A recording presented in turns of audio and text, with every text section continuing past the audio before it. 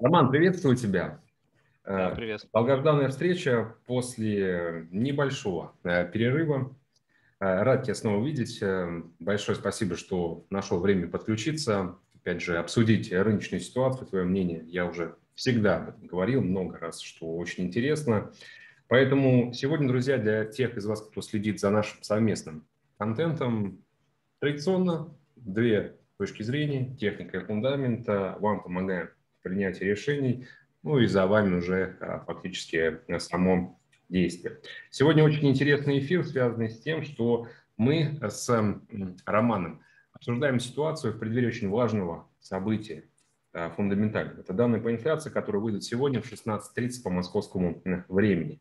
То есть все вы можете, опять же, под свои часовые пояса сейчас прикинуть, во сколько стоит ожидать э, по локальному времени.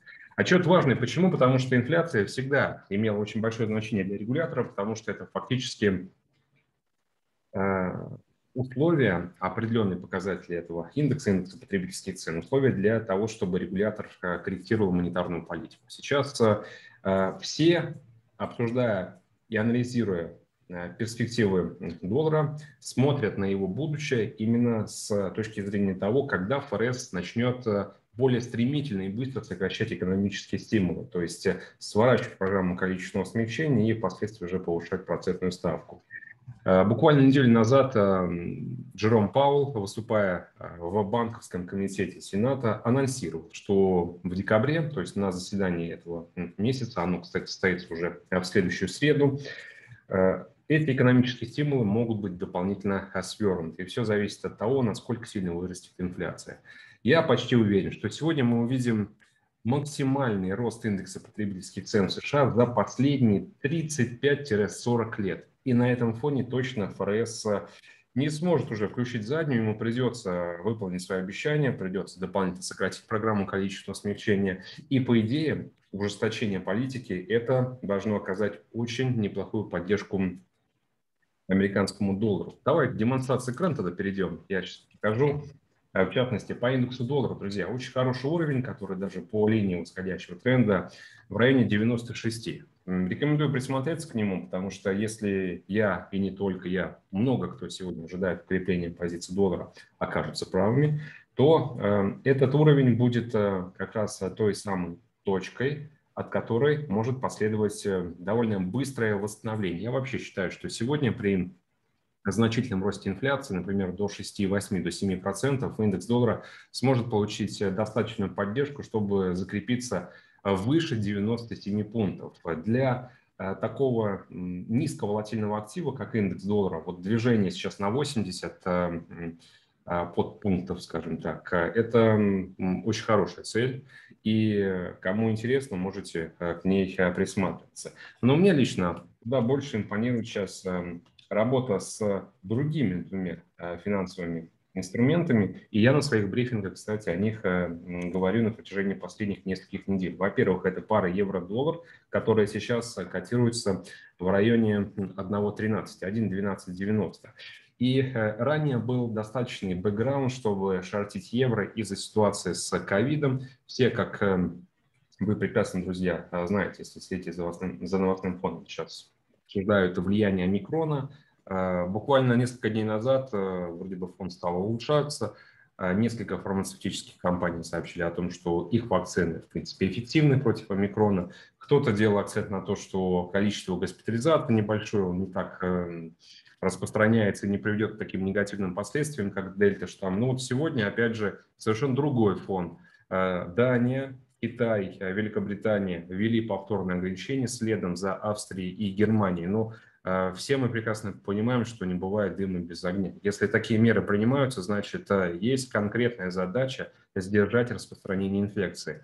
И новый локдаун – это как раз один из вариантов того, чтобы а, улучшить э, общественную систему здравоохранения, ситуацию в целом. Потом, э, в отношении евро, много раз я говорил, что это очень хорошая валютная пара для того, чтобы торговать сейчас контраст монетарных политик. ЕЦБ не меняет политику и не будет ее корректировать э, даже в следующем году. Это конкретное заявление Кристин Лагард, главы Европейского центрального банка. А ФРС, как я только что сказал в начале своего выступления, сделает это уже в следующую среду, друзья. Поэтому евро будет э, позиционно смотреться вниз. И если э, сопоставить и попробовать спрогнозировать движение этой валютной пары в преддверии отчета по инфляции, я думаю, что сегодня как раз мы увидим уверенный пробой уровня 1.1270, 1.1280 и как минимум обвал к поддержке 1.12. Вот к этому как раз уровню я рекомендую присматриваться. Если нужны совсем долгосрочные цели, City, Bank of America, Morgan Stanley вообще шортят уже до отметки 1.10, и я в целом с ними согласен. Золото еще один актив, который мне интересен. Э, долгий период времени, фактически с конца ноября у нас э, Э, проторговка в э, узком для золота диапазоне, и сейчас э, уже больше двух недель мы топчемся фактически в районе 1780-1770.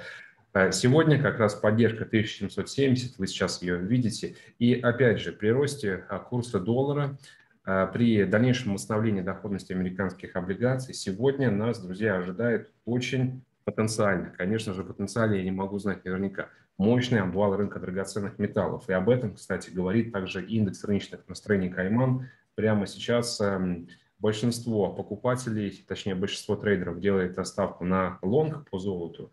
Ну и я всегда э, говорил, друзья, что нужно э, делать выводы из такого э, позиционирования расстановки сил и играть по пути торговать, действуя против наименьшего сопротивления, то есть против толпы.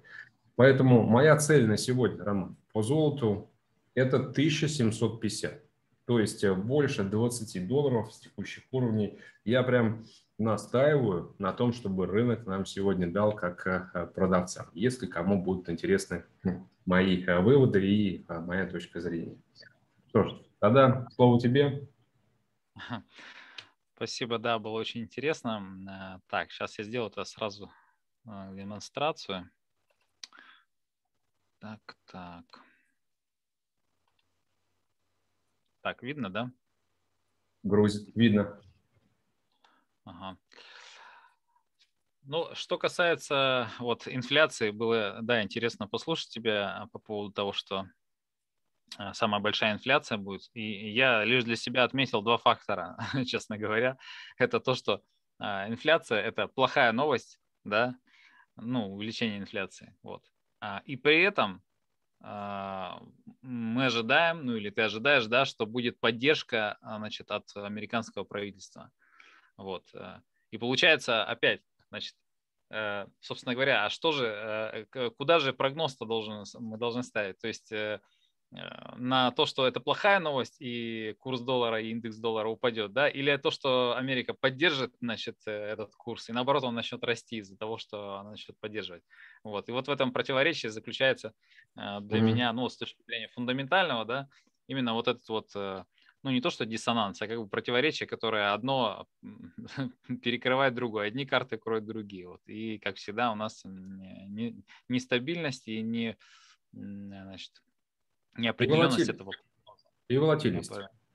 Но волатильность, да, однозначно должна быть, и вот, и мы будем ее использовать в своих э, целях, да, и давайте посмотрим по техническому анализу, что нам говорит, э, говорят линии поддержки сопротивления, которые я обычно использую в своих прогнозах на своем канале по понедельникам. Вот, э, ну вот на D1 я что вижу? Так, на, даже на недельном графике, да, угу. у нас уже долгое время евро падает, падает, падает. Вот. И, собственно говоря, а, такое ощущение складывается, что оно все-таки дойдет до нижней границы поддержки. Вот. Ну, я не делаю прогноз вот прямо сейчас. Я, как правило, мои прогнозы заключаются на том, что я ищу сигнал. Вот, и от этого сигнала мы уже открываем сделки. Поэтому а, куда сейчас евро пойдет, нам без разницы. Если оно пойдет вниз, то у нас будет а, сигнал на покупку в районе 1.0835, около нижней линии поддержки. Очень хорошая линия поддержки. Уверены, все на ней сможем заработать. Вот. И э, если цена пойдет вверх, то здесь нас будет ждать вот такая вот зеркальная линия сопротивления а, в районе цены 1.1668. А, Поэтому можно, скажем так, запасаться депозитами, вот, выставлять отложенные ордера, э, наливать кофе, чай, печеньки, попкорн и смотреть, как евро придет к нашим сигналам и зарабатывать будем на этом.